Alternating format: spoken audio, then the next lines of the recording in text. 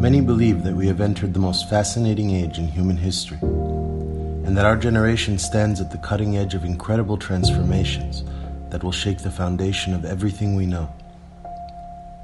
This century already has magnified the borders of time and space in ways that remain unfathomable. Cultural movements, political revolutions, artistic and technological breakthroughs of all kinds. Together, they point to an unstoppable arc of experimentation that brings both wondrous and potentially catastrophic consequences. But what are the exact ideas and principles behind these advancements? How do we interpret these ever expanding realms of possibility and imagination? In this presentation, we will explore the first five vital concepts of future studies, each of which illuminates a certain dimension of the world, both in our midst and beyond.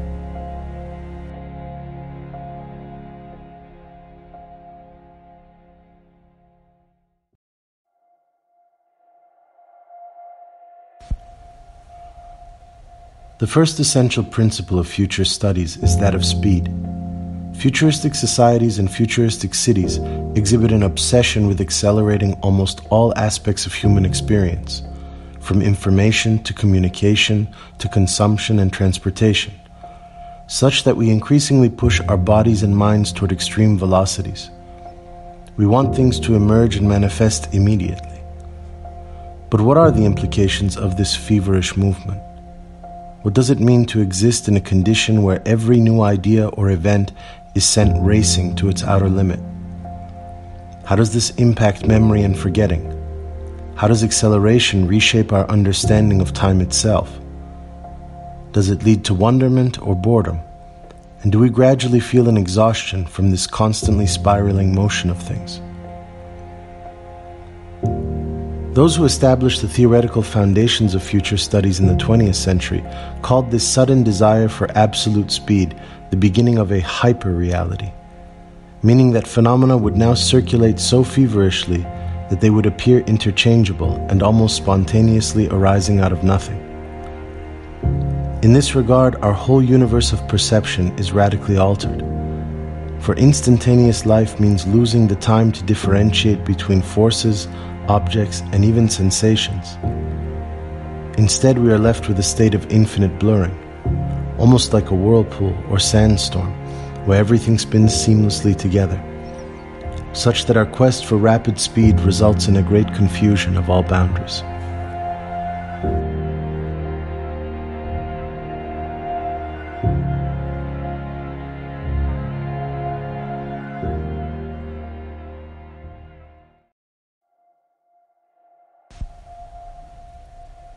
The second essential principle of future studies is that of excess.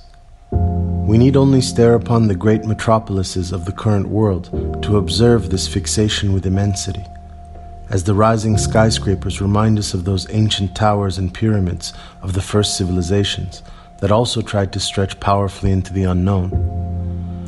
Thus, we discover an almost insatiable drive to expand at the heart of the modern age, one that tests proportions and scales beyond measure but then again, in language we have this strange expression of having gone too far. How exactly do we know if we have indeed gone too far? Is it possible that we have already crossed that dangerous border, though never realizing it, and are now like a runaway train heading for the edge of a cliff? What this means for future studies is to contemplate those trends that might have become irreversible, meaning that they have trespassed beyond a point of no return. This unique relationship to excess places us in a state of perpetual risk, tempting wild fates and gambling with exceptionally high stakes as we crash through new horizons of possibility. Nevertheless, it also has the tendency to throw us into what one earlier thinker called the spectacle. Thus, part of this association with excess is about the growing need for everything to be represented, beheld, and flung into transparency. This is our infatuation with social media and the projection of our thoughts and experiences online. Moreover, this spectacle culture means that there is little room left for interior, private experience or secrecy, since now the first instinct of each individual becomes that of irradiating their world for all to see.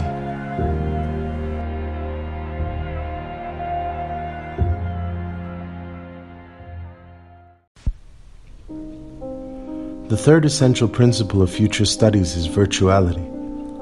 It is an undeniable fact that people dwell more and more in virtual atmospheres than ever before, living on and through shining screens that transmit their thoughts and symbols across massive stretches of space. This fluidity and scope of the virtual, however, comes with a great price. The substitution of material reality for digital or representational realities that we call simulations. And yet, the simulation is never just a simple copy of the real, but rather always promises to offer an idealized, superior version of reality itself. A more perfect, edited, and attractive likeness that enchants us with its smoothed out forms. And what is the inevitable repercussion of our navigating through these labyrinths of shadows and mirages? Quite simply, that we begin to see ourselves more and more as images, and to hand the destiny of the world itself over to the free reign of images. Moving onward, this intriguing deal that we have made with the virtual has led to the dominant rise of telepresence, namely, those technologies that enable one to engage somewhere without actually being there. Thus, we find ourselves transported to foreign zones at the blink of an eye without making the physical journey, appearing and disappearing like ghosts at will. But should we wonder what this almost magical process of telepresence might do to our very definition of identity? Also, how will these virtual landscapes forever change our paradigms of visuality, knowing, and the body?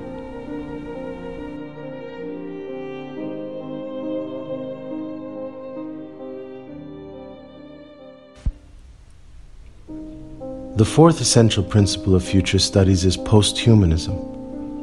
For many decades, there has been a deep concern at the forefront of our films and storytelling, an intuition that some other species could arise to overthrow the human race. These alternative beings could conceivably take the form of the machine, the alien, the clone, the monster, or even artificial intelligence. What this reveals is that the old dividing lines between human and inhuman are quickly falling apart, and we are at once paranoid and captivated that new creatures or types of being are on the horizon to steal from us our supremacy over reality. Beyond this, we are perhaps troubled by the extent to which our own long standing definition of the human is becoming increasingly obsolete. If medical science one day achieves biological immortality, would we still be human without the crucial experience of death and mortality? If mind technology someday allows us to link into artificial intelligence that would stream into us from the outside, would we technically still be human without the criterion of free will or natural inner consciousness?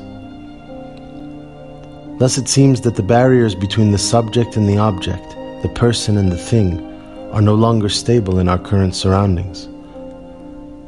The conceptual result of this in future studies is the discussion of hybridity.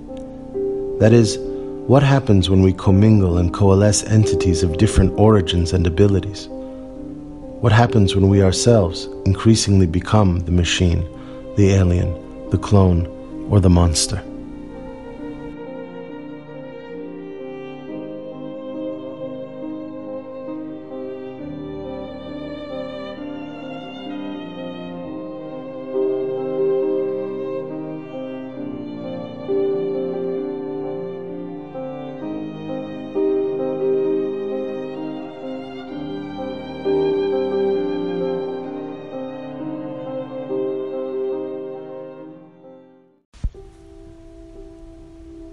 The fifth essential principle of future studies is that of the bond between utopia and dystopia. In the wake of a disastrous century where the most utopian ideologies of the modern age were responsible for the most horrific genocides, we have developed a newfound suspicion towards those who promised perfect worlds. So it is that we have learned that often utopian projects conceal dystopian suffering beneath the surface and that the dream often becomes the nightmare. This insight of the pendulum between utopia and dystopia is often a theme of futuristic speculations. In the same way that the book Frankenstein was in part a warning of what the miraculous invention of electricity might unleash in some later period, as humans continue improving their godlike powers of manipulation and domination. Thus, many futuristic films place us at a delicate threshold between infinity and apocalypse, at once marveling at the boundlessness of our imagination, while also threatening us with some looming extinction event, drawing an ever fine line between the everything and the nothing, the height of possibility and the end of all things. So it is that to contemplate the future is to break open the question itself into a Pandora's box or kaleidoscope of multiple potential futures, and also to contemplate even the prospect of no future, thereby building an entire philosophy of aftermaths that might guide our thinking in the blind alleyways of what is to come.